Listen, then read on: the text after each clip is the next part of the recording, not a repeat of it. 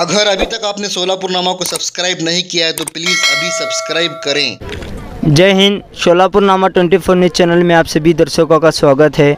जिस तरह से आज डॉक्टर बाबा साहेब अंबेडकर भारत रत्न, इनकी 130वीं जयंती यहाँ साजरी की जा रही है। जिस तरह से हर साल हम लोग ये देखते हैं कि बड़े ही धूमधाम से डॉक्टर बाबा साहेब अंबेडकर की जयंती, रैलियों के ज़रिए, रक्तदान शिविर के ज़रिए अलग अलग फ़ंक्शन के ज़रिए जो है साजरी की जाती है।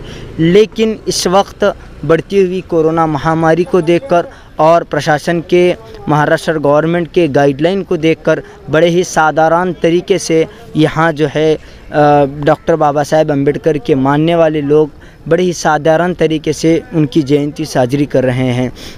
तो आपको हमारे देखने मिलेगा, हम आज डॉक्टर बाबा साहेब अंबेडकर चौक में मौजूद हैं। आज हम जिस तरह से आपको पता है कि आज डॉक्टर बाबा साहेब अंबेडकर भारत रत्न की 130वीं जयंती है तो इसी पर एस के ग्रुप के संस्थापक हमारे साथ मौजूद है। सर, आज डॉक्टर बाबा साहेब अंबेडकर की जयंती बड़े ही साधारण तरीके से जो है साजरा की जा रही है तो आप इस पर क्या कहना चाहेंगे, सर?